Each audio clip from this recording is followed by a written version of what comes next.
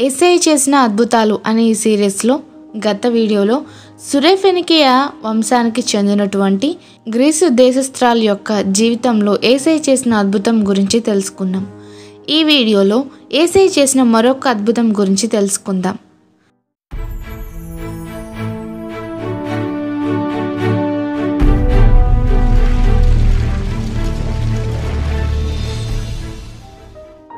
ఆయన మరల తూరు ప్రాంతాలను విడిచి సీదోను ద్వారా దెకపోలి ప్రాంతాల వైపు నుండి గల్లే సముద్రానికి వస్తారు. అప్పుడు వారు అనగా ఆ ప్రాంత ప్రజలు చెవుడు నత్తిగల వాణిని ఆయన దగ్గరకు తీసుకొని వస్తారు. దెక్కపల్లి ప్రాంత ప్రజలు ఆ చెవిటి నత్తి గల వాడి మీద ఆయన చేతులుంచవలనని ఆ ప్రజలు ఏసయ్యను వేడుకుంటారు. అప్పుడు ఏసయ్య సమూహంలో నుండి అతని ఏకాంతంగా తీసుకుని వెళ్ళి అతని చెవులలో ఆయన వేళ్ళు పెట్టి ఉమ్ము వేసి వాని నాలుకను ముట్టి ఆకాశం వైపు కన్నులెత్తి నిట్టూర్పు విడిచి ఎఫాతా అని అతనితో చెప్తారు. ఆ మాటకు తెరవబడుమని అర్థం. వెంటనే అతని చెవులు తెరవబడతాయి. అతని నాలుక నరం సడలి వాడు తేటగా మాట్లాడతాడు.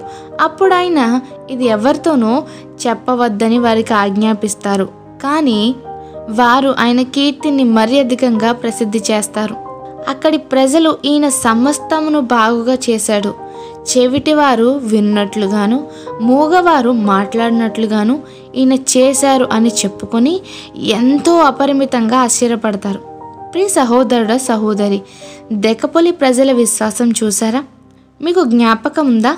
గెరాసేన్ల దేశంలో ఏసయ్య ఆ దెయ్యం పట్టిన వాడిని బాగు చేశాక వాడు ఏసైని వెంబడిస్తా అన్నప్పుడు ఆయన ఆయనతో పాటు అతన్ని రానివ్వకుండా నీ ఇంటికి వెళ్ళి దేవుడు నీకు చేసిన కార్యాలను వివరించమని చెప్పారు కదా.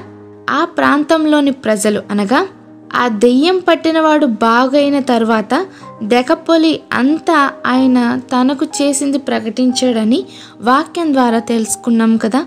ఆ ప్రాంతంలోని ప్రజలే ఏసయ్య రాగానే అవసరతలో ఉన్న ఒక్కని ఆయన దగ్గరకు తీసుకొని వచ్చారు. ఒక విషయం గుర్తుపెట్టుకోండి. వినుట వలన విశ్వాసం కలగకపోతే సార్వత్రిక సంఘంలో భాగం పొందలేం.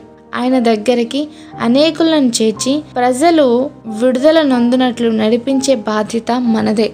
ఆమెన్. ఈ సందర్భాన్ని మార్కు సువార్త ఏడో అధ్యాయం ముప్పై ఒకటి నుండి ముప్పై ఏడు వచనాల్లో చూడగలం. వందనాలు.